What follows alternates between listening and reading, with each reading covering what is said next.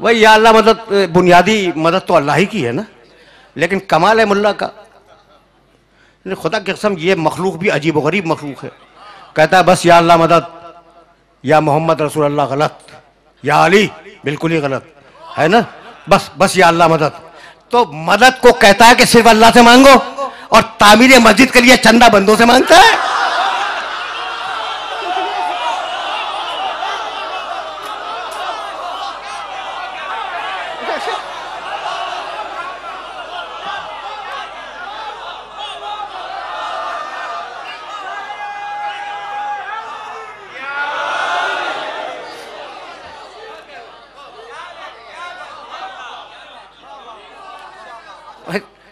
समझ रहे हो ना बात को? तो कुल रब अदखिलनी मुतखरा सिद्किन व अखरिजनी मुखरजा सिद्किन वज अली मिन का सुल्तानन नसीरा। सत्रहवा सूरह सुने बर इसराइल। रसूल, मेरे रसूल, दुआ मांगो कि मुझे सच्चाई के साथ मदीने पहुँचा दे, सच्चाई के साथ मक्के से निकाल दे, हिजरत के वक्त की दुआ।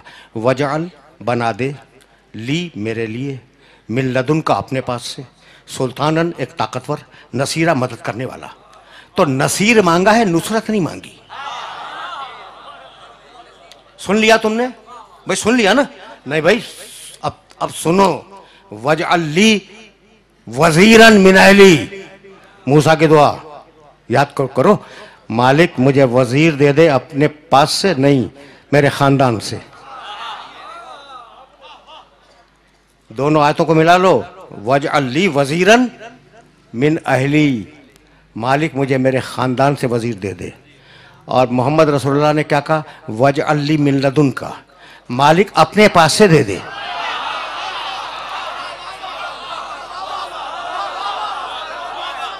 आयत है भाई, आयत है।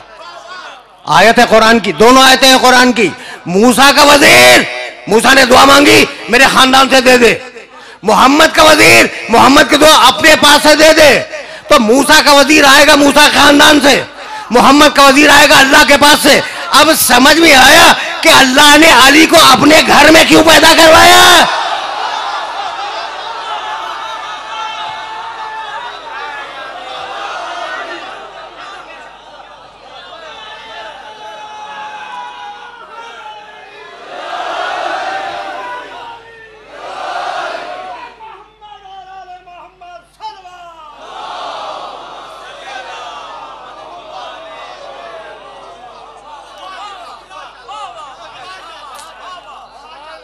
वज़ीर है वज़ीर है मूसा का, मूसा के खानदान से।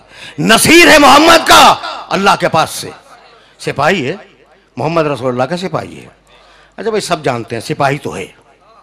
अच्छा ये तो कोई मसला ही नहीं है ना।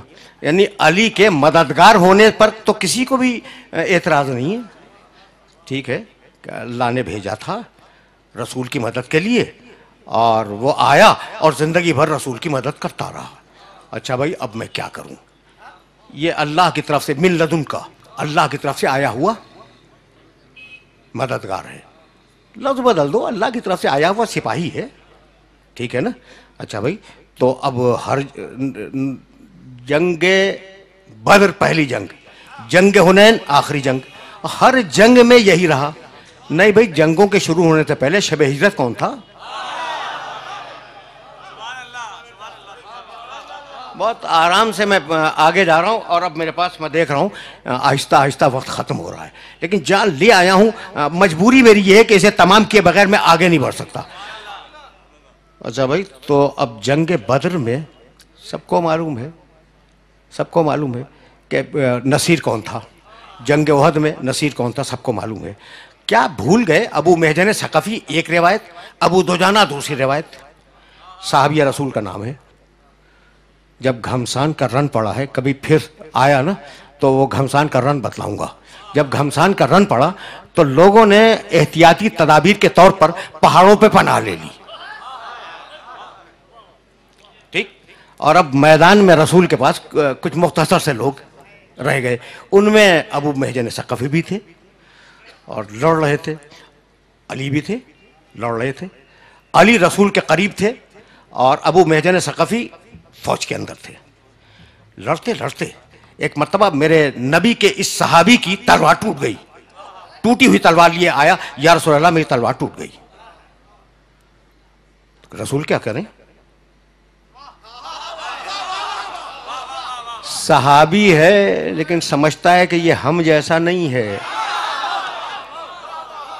आप तो साहब कराम के अकीदे पे भी नहीं है। साहबी है, या रसूल अल्लाह मेरी तलवार टूट गई। भाई, खुद बंदोबस्त करो, तलवार का जानता है जानता है कि ये नबी है और ये मेरे लिए तलवार का बंदोबस्त करेगा। रसूल ने अरीश से झुक के नीचे देखा। खजूर की टहनी पड़ी थी। उठाई का तलवार लो। उसके हाथ में तलवार बन गई, चला गया। बस भाई मैंने वाकन तुम्हें बहुत जहमत दी है और मैं बहुत माजत खा हूँ। वो चला गया। तलवार दी खजूर की खुश्क टहनी उठा के दे दी। कहा, तलवार लो, तलवार दी, वो गया और उसने जंग की और फौजों के अंदर डूब गया।